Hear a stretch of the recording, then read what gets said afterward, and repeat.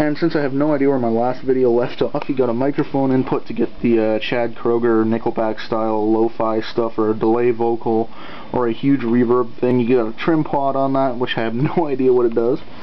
You got an effects return right here. Maybe I should put the camera down a bit closer. There you go. So that's the effects return uh, left and right. And then you got, uh, that's cool because you can put two, or you can put a stereo thing in that. And then you got uh, an effects send right here. You got the input for the Variax, which is Line 6's guitar.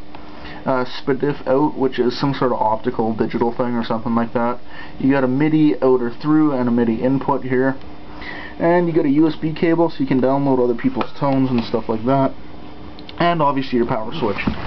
So, um, yeah, that's the basic outs and ins and things like that. Um, let me see, where do I go from here? Like right now, the way I set it up is, like I said, clean to dirty, or clean to lead on that. So it's really simple to look at when I'm doing this. If I'm on a dirty song in one of my songs, I just go to that.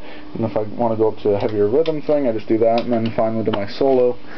Um, yeah, and, you know, the tones are really good. You got anything from a Fender Deluxe reverb to a Bogner Uberschall to an Angel, uh, or to a, uh, what's the, what is it?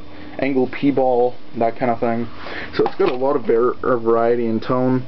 You got you got uh, vocal, um, sorry, uh, vocal preamps and that kind of stuff. You got a bass, or like 28 bass models and stuff. It's a killer. It comes preloaded with uh, two banks of uh, bass bass tones, acoustic tones.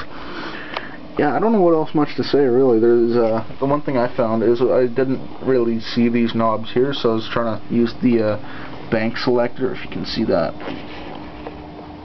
There it goes. Don't know if there's any way to focus that or not, sorry.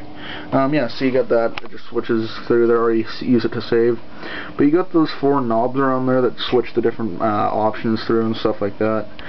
Um, output wise, it's really cool because you can use either a uh, live out uh, for quarter inches for like a live situation, like if you're going to want them into an amp, or into uh, just like a DI or something like that, but that sort of really doesn't necessarily have to happen because you got the uh, XLR out on here, which is a really nice feature on it. I use that most of the time. Um, yeah, you know, the tones are really great in this. Um, if you want to check out some people that use them, Lincoln Brewster's a huge one on that.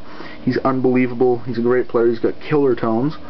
Um, yeah, I don't know who else uses, uses this specifically, but I do. and yeah, you know, in the next video, I'll show you a couple of the things you can do with it. So, toodles.